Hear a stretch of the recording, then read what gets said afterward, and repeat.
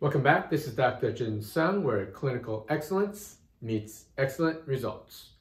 Today, we're going to talk about how insulin surges or diabetes or fluctuating blood sugar will impact female hormones. So we're going to get right into it, okay? So when we look at insulin surges in women, we're talking about a specific condition called polycystic ovarian syndrome.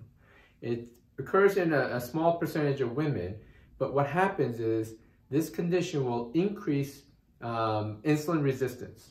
So you're going to have a development of insulin resistance, especially if you're on a high sugar diet. And what happens is insulin will start to spike because the resistance to insulin. So basically your um, pancreas will create insulin to take sugar out of the system and put it into the cells. But if the cells become resistant to insulin, more insulin will be produced, causing insulin surges.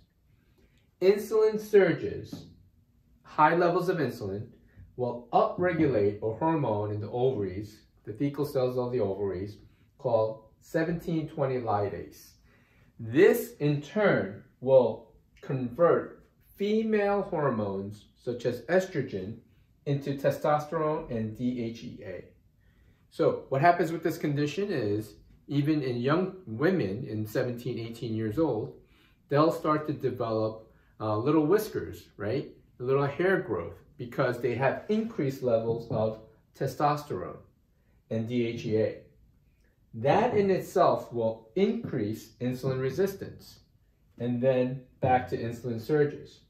So if you look at this diagram, this vicious cycle can occur in young women and women of, of menstruation where high sugar diets will promote insulin resistance, insulin surges, insulin mm-hmm. surges or high levels of insulin in our system will upregulate our hormone, right? And then you're going to get a conversion of estrogen to testosterone and DHEA, making them more man-like, quote unquote, right?